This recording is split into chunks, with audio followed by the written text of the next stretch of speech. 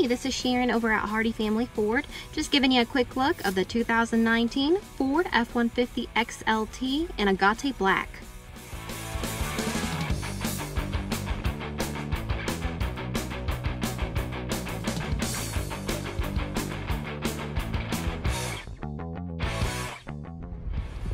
This XLT model does come equipped with power seating on both the passenger and the driver's side.